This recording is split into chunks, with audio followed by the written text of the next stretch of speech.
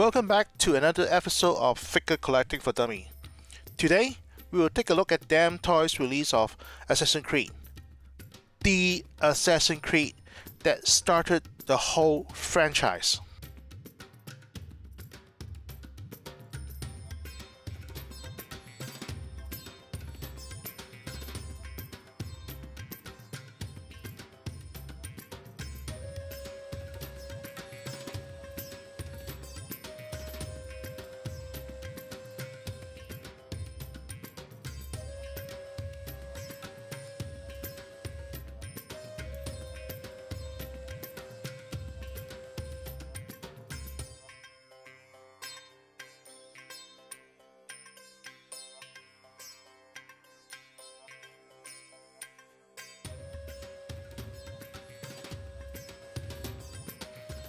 Besides Assassin's Creed, Ubisoft also released another game called The Division. And this year, they released The Division 2. I'm looking forward to that. Hope to see you guys in the Dark Zone.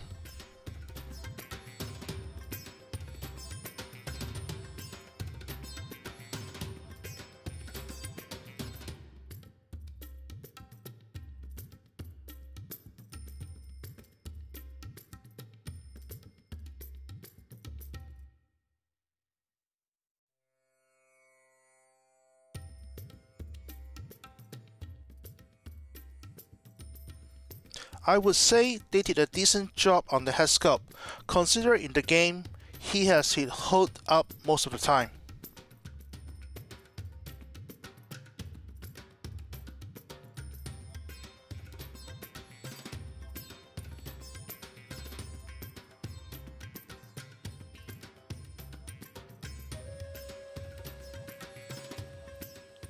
In terms of the articulation, I say it's pretty good, nothing spectacular. Uh, you have the standard neck joint for the head sculpt. However, this is a hard neck, so you do not have neck articulation. The standard for the elbow and the knee joints.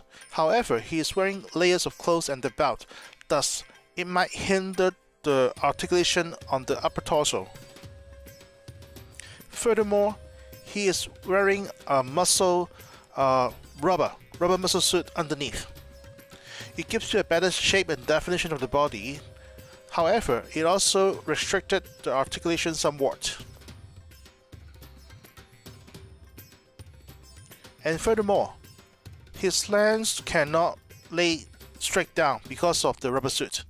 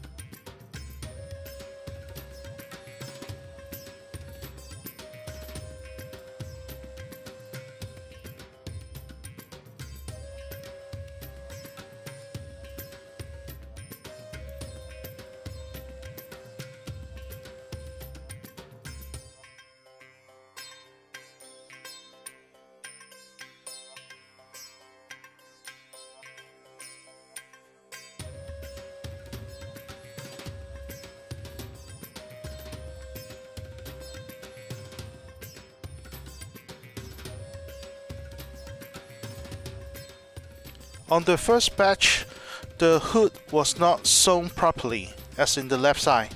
However, Dam Toys immediately make an announcement to ask the people to contact the distributor for free replacement. Kudos. For the accessories, we take a look at the hand shapes. There are 8 hand shapes this time.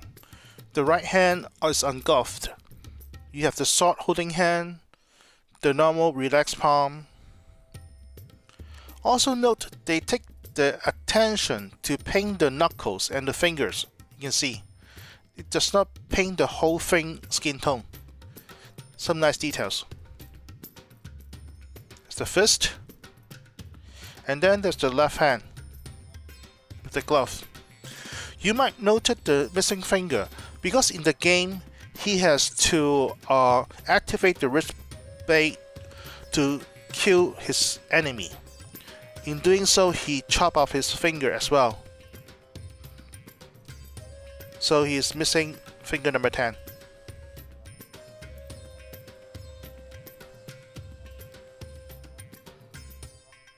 I would say this is one of the best diorama base I've ever seen. It's got a good heft to it. You got the nameplate, Assassin's Creed, and then you look at it. They actually built a model of the brick, and then with the fungus growing in between. Very nice paint details and application. It's amazing. I just love it. Two thumbs up.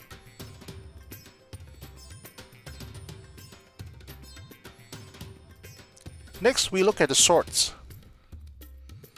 Of course, we have the sword, the main weapon in the game. And then you get a shield. Some nice details, all made of plastic. You have clip-on and some details on the other side. However, you might notice that the sword does not go all the way down. Because the shape of the handle doesn't match the edge of the sheath. So you might need to do some modification work to make it work. Then have the dagger. Very nice, stylish details in color. Then we have the throwing blades. They have four large ones and five tiny ones. All painted silver with the nice details. We use it in the game to kill a distance from afar.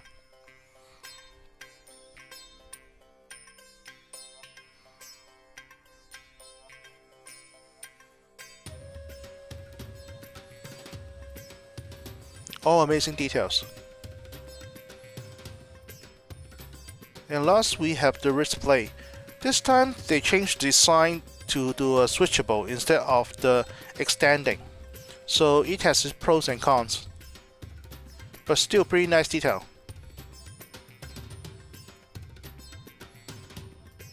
As you can see, you can step off and step on to change the blade.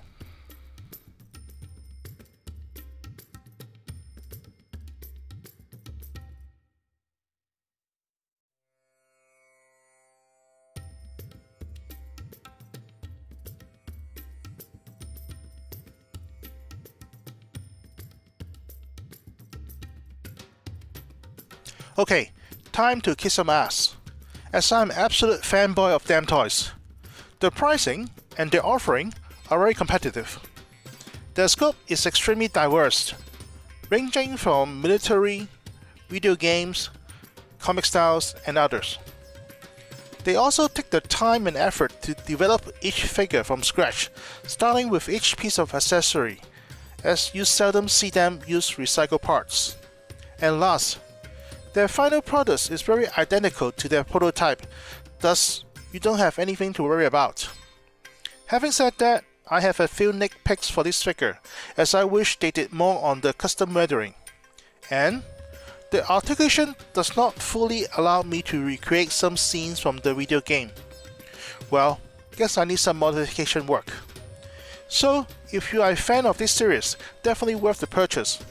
Furthermore, Dam Toys will also be releasing Assassin's Creed figures from other versions, and I'll be looking forward to do unboxing for you next time.